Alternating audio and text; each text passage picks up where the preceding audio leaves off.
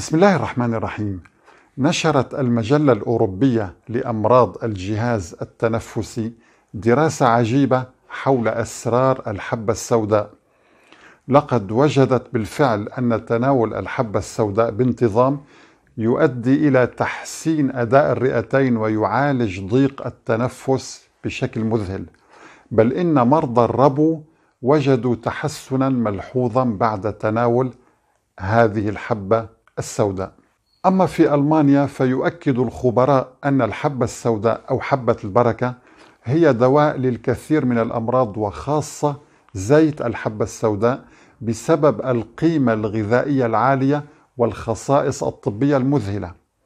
حيث يقول الباحثون إن حبة البركة أو الحبة السوداء تستعمل كمخفف للآلام زيتها يساهم في عملية التئام الجروح وعلاج آثار الحروق الخطيرة الناتجة عن الأسلحة الكيميائية. وإن تناول الحبة السوداء يقلل أيضا من الآثار الجانبية الناتجة عن إدمان المخدرات. لقد أثبتت الدراسات العلمية الحديثة جدوى طريقة العلاج ضد بعض أنواع السرطان كسرطان الأمعاء حيث تعمل الحبة السوداء على وقف نمو الخلايا السرطانية ومنع انتشارها في الجسم وتعمل كمضاد حيوي قوي. يقول الخبراء الحبة السوداء تحوي على الكثير من المواد الغذائية المهمة للجسم بالإضافة إلى مجموعة كبيرة من الفيتامينات والمعادن والبروتينات النباتية وبعض الأحماض الدهنية غير المتشبعة.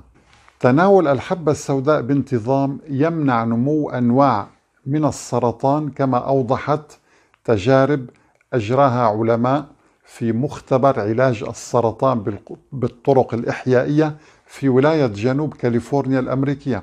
وذكر العلماء أن للحبة السوداء تأثيرا كبيرا على إنتاج خلايا الدم وتقوية مناعة الجسم ضد السرطان والفيروسات. الخبراء ينصحون بتناول كميات قليلة من حبة البركة إما بطحنها أو برش بذورها على المواد الغذائية أو مع السلطات. ويمكن طحن حبة البركة ومزجها مع الماء وشربها أيضا. وينصح خبراء من ألمانيا بتناول حبة البركة يوميا قبل ساعة من وجبة الطعام. كما يمكن مزج دهون البذرة مع العسل للتخفيف من الطعم اللاذع لها. وفي حالات العلاج من أمراض السرطان ينصح بتناول ملعقة حبة البركة ثلاث مرات في اليوم. وحسب أحد المواقع المهتمة بالعلاج الطبيعي فإن الحبة السوداء هي علاج لأكثر من مئة مرض. فالحبة السوداء تتميز بالخصائص التالية. عدوا معي أيها الأحبة. مضاد حيوي. مانع تأكسد. مضاد للبكتيريا والفيروسات. مضاد للتخثر. مضاد للربو والتحسس مضاد فطري قوي مقوي لنظام مناعة الجسم بالإضافة للكثير من الفوائد التي تشمل صحة القلب والجهاز العصبي وجهاز الهضم ولعلاج الجلد ومضاد طبيعي للالتهابات وقاتل طبيعي للخلايا السرطانية وعلاج للعقم أيضا.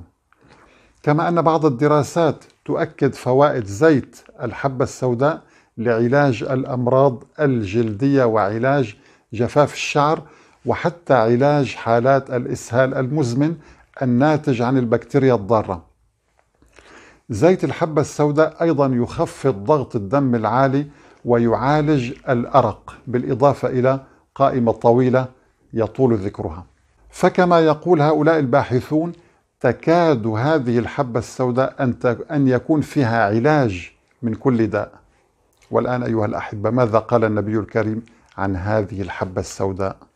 هناك حديث عظيم لحبيبنا عليه الصلاة والسلام يؤكد فيه القوة الشفائية لهذه النبتة المباركة حيث يقول في الحبة السوداء شفاء من كل داء رواه البخاري ومسلم. والسؤال أيها الأحبة ألا يستحق هذا النبي الكريم صلى الله عليه وسلم كل تقدير واحترام أنه نبه على فوائد هذه الحبة السوداء في زمن لم يكن أحد على وجه الأرض يعلم شيئا عن هذه الفوائد الطبية. لا نملك أيها الأحبة إلا أن نقول صلى الله عليه وسلم.